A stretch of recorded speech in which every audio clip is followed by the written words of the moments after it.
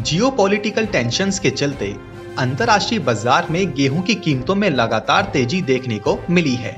घरेलू लेवल पर भी भविष्य में दाम बढ़ने की आशंका के चलते कारोबारियों के द्वारा किसानों से गेहूँ उनके खेत से ही ज़्यादा भाव में खरीद लिए जा रहे हैं। इससे सरकारी एजेंसियों के पास स्टॉक की कमी हो सकती है। जिस तरह की परिस्थितियाँ दुनिया भर में बनी हैं, उसे देखते हुए एक्सपर्ट्स का कहना है कि सरकार को गेहूँ निर्यात को लेकर एक बार फिर विचार कर लेना चाहिए। बड़े कारोबारियों द्वारा खेत से ही गेहूँ उठा लेने के चलते आगे देश में सप्लाई पर असर पड़ सकता है। इससे आने वाले दिनों में सरकार को ही दोगुने भाव पर गेहूँ आयात करना पड़ सकता है, जिसका असर सीधे सीधे आम आदमी को ही होगा। अभी सरकार गेहूँ का निर्यात कर रही है, लेकिन आगे हो सकता है कि भारत को गेहूँ का आयात ज़्यादा भाव पर करना पड़ जाए। भविष्य में दाम बढ़ने के अनुमान से बड़े कारोबारी खेत से ही गेहूँ खरीद कर स्टॉक कर रहे हैं। किसानों को भी ज़्यादा भाव मिल जा रहा है। ऐसे में देश में गेहूँ की सप्लाई कम है और आगे और भी कम हो सकती है।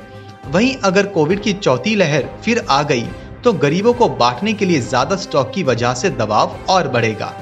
2022-23 में भारत से गेहूँ का निर्यात 10 से 15 मिलियन मैट्रिक टन के दायरे में हो सकता है। भारतीय व्यापारियों ने अप्रैल से जुलाई की अवधि के दौरान पहले ही तीन से साढ़े तीन मिलियन मैट्रिक टन गेहूँ निर्यात का अनुबंध कर लिया है।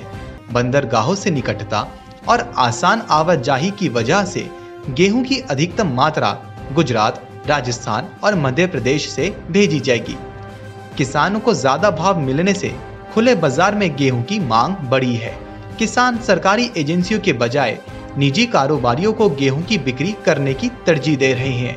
ऐसी रिपोर्ट्स भी आ रही हैं कि निजी कंपनियों के द्वारा निर्यात के लिए एग्रेसिव तरीके से गेहूँ की खरीदारी की जा रही है, जिससे सरकारी खरीद में गिरावट देखने को मिल सकती है। सरकारी गोदामों में गेहूँ का स्टॉक बहुत कम बचा है। वहीं अधिक तापमान के चलते ईल्ड पर भी असर हुआ है। पंजाब, हरियाणा, उत्तर प्रदेश और राजस्थान के प्रमुख गेहूँ उत्पादक क्षेत्रों में सामान्य से अधिक तापमान और लंबे समय तक शुष्क रहने की वजह से गेहूँ की फ़सल की उत्पादकता पर असर पड़ा है।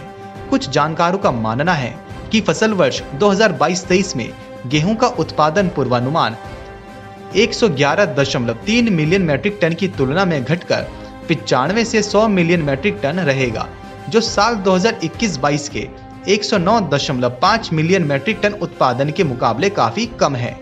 17 अप्रैल 2022 तक गेहूँ की खरीद उनहत्तर दशमलव दो चार लाख मैट्रिक टन तक हो चुकी है, जो कि सालाना आधार पर उनतालीस फ़ीसदी कम है। जबकि एक साल पहले की समान अवधि में 102 लाख टन गेहूँ की सरकारी खरीद हुई थी। राज्यवार आंकड़ों को देखते हुए तो मध्य प्रदेश में आठ दशमलव नौ नौ लाख मैट्रिक टन, पंजाब में बत्तीस दशमलव एक सात लाख मैट्रिक टन, हरियाणा में सत्ताईस दशमलव सात छह लाख मैट्रिक टन और उत्तर प्रदेश में शून्य दशमलव तीन शून्य लाख मैट्रिक टन गेहूँ की खरीद हो चुकी है। एक अप्रैल 2022 तक भारत सरकार के पास गेहूँ का कैरी फॉरवर्ड स्टॉक सालाना आधार पर तीस दशमलव चार फ़ीसदी और मासिक आधार पर उन्नीस फ़ीसदी कम रहकर अठारह दशमलव नौ नौ मिलियन मैट्रिक टन दर्ज किया गया था। और यह हमारे बीस दशमलव पाँच मिलियन मैट्रिक टन के अनुमान से भी काफ़ी कम है।